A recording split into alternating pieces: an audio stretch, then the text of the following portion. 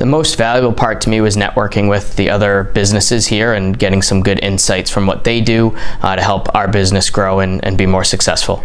Um, I really liked the interaction with the vendors, and I, that really was not the part that I thought I would get the most from.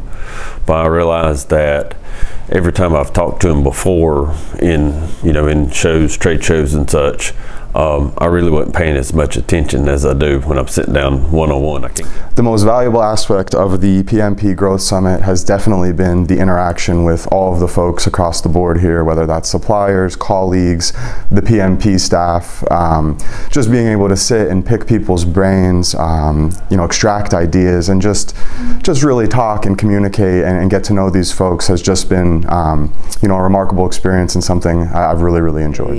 uh, equally parts of meeting the, the, the business partners one-on-one and getting to, to talk to them. And then also the networking with with the other companies. Uh, a lot of them are companies that you know aren't in our areas.